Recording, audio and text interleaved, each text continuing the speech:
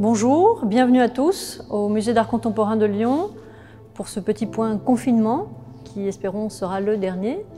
Euh, je voulais évoquer un petit peu avec vous le, on la genèse de la situation actuelle euh, qui est, euh, on, va faire un petit retour en arrière et on va se replacer en mars quand on a tous été sous le choc du confinement et où il a fallu repenser l'intégralité de notre programmation. On avait au musée prévu une exposition qui s'appelait Édit du bien, l'homme aux mille natures, et qu'on avait conçu spécifiquement pour l'orangerie du Parc de la Tête d'Or, euh, qui était, c'est une exposition qui est en lien direct avec la faune, avec la flore, avec la question de l'enfance, euh, avec la question de l'identité, comment un enfant se construit. Et donc ce lieu est, est, totalement adapté pour. Impossibilité de monter l'exposition, donc on réfléchit très vite et on se dit on va décaler évidemment, euh, comme tout le monde, et faire euh, une exposition plus vaste. L'artiste a un peu plus de temps aussi. Il produit des centaines de dessins, 400 dessins, euh, des sculptures, des peintures.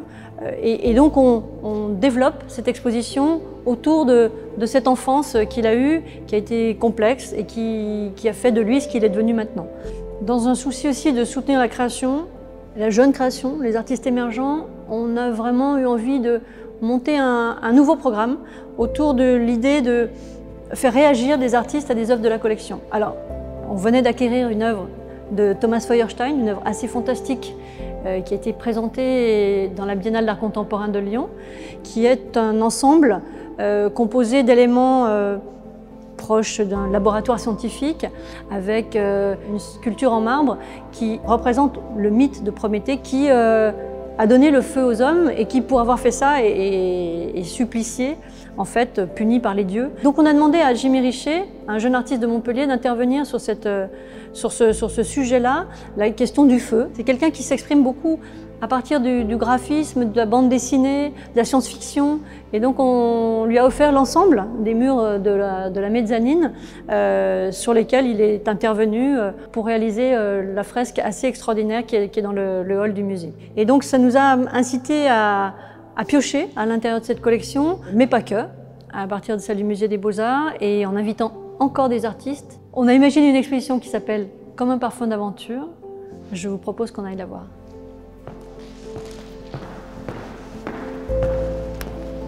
On se trouve ici dans la première salle de Comme un parfum d'aventure. Comme un parfum d'aventure, c'est l'exposition qui traduit quasiment en temps réel la situation qu'on a vécue pour le premier confinement, avec cette incapacité de se déplacer, cette obligation de, chacun rester euh, chez soi. Et tout d'un coup, il nous est venu l'idée de, parler de, cette actualité-là et de, faire une espèce de rétro-histoire, de, raconter l'histoire à travers les œuvres d'art, à travers évidemment la collection du musée d'art contemporain, mais aussi la collection du musée des beaux-arts, puisque nous sommes un pôle.